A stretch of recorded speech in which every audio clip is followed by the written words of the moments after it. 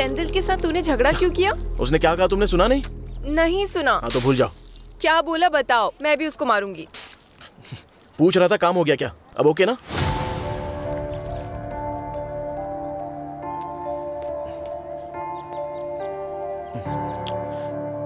तुम्हें बुरा लगेगा इसलिए मैंने नहीं बताया। शांत हो जाओ। इसमें बुरा लगने जैसी क्या बात है? ए ए सेंदिल शादी हो गई। बच्चा भी पैदा हो गया। तुम बुरा मत मानना।